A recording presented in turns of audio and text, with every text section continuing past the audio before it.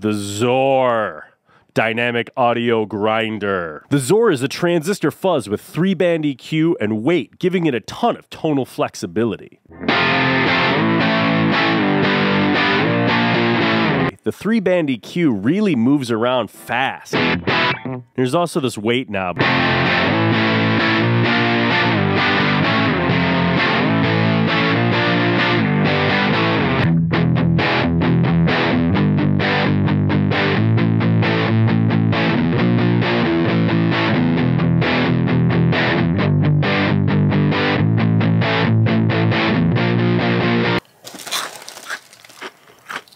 I'm gonna eat so many bugles to find like four that fit my fingers.